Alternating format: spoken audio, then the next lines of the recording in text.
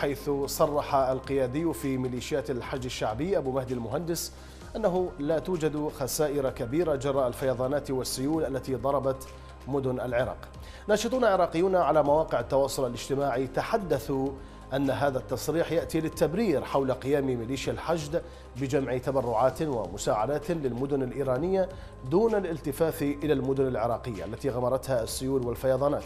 دعونا نشاهد تصريح أبو مهدي المهندس ونشاهد كذلك صور لاجتماعه مع القيادات الإيرانية ومنهم قائد فيلق القدس الإيراني قاسم سليماني عندما سافر أبو مهدي المهندس قبل أيام إلى إيران بصحبة المساعدات.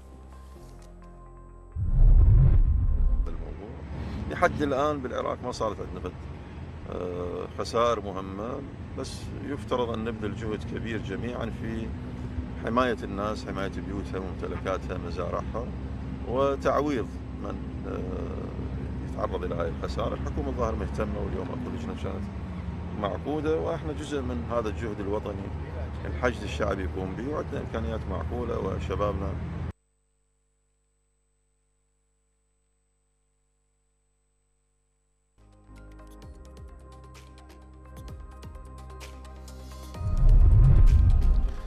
تداول ناشطون على مواقع التواصل الاجتماعي لقطات مصورة تظهر غرق منازل المواطنين في محافظة ميسان بعد تعرضها للسيول والفيضانات وغرق مساحات زراعية كبيرة في الوقت الذي يتحدث فيه أبو مهدي المهندس عن أن الأضرار بسيطة.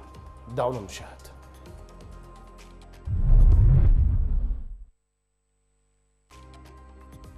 تصويرها عبر كاميرا طائرة صورت هذه المساحات الشاسعة الزراعية في محافظة ميسان.